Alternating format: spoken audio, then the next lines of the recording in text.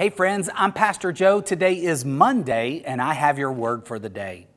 When I was a child and I was sent to my room, I would leave my room and stand at the threshold of the living room and wait there, really uncomfortable, to ask my dad if it would be okay if I could get out of my room.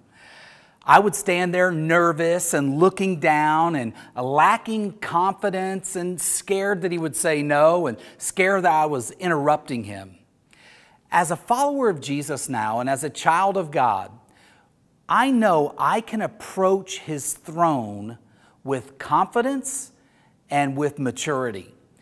Hebrews 4:16 tells followers of Jesus, "Let us then with confidence draw near to the throne of grace, that we may receive mercy and find grace to help us in time of need. I want you to know and understand today that even though Hollywood or, or uh, some pastors paint God as an angry, wrath filled, vengeance seeking God, that is not who Hebrews 4:16 tells us he is. God is a God of grace and patience. He shows long suffering towards his followers, and God desires you and I to come confidently to him. What is your need? What's your hurt? What's your ache? What's your pain? What is it that brings tears to your eyes as you call out to him? God says, go confidently to him.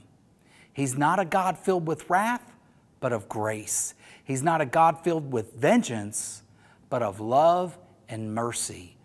And He says we can find help at His throne in our time of need.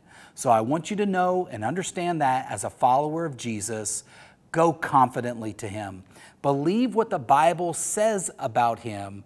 Believe in God's character that He's for you, that He loves you unconditionally. And as you believe that, Hebrews 11:6 says, "Without faith, it is impossible to please him." So as it you believe that by faith about God's nature, he's going to bless you because you are his child.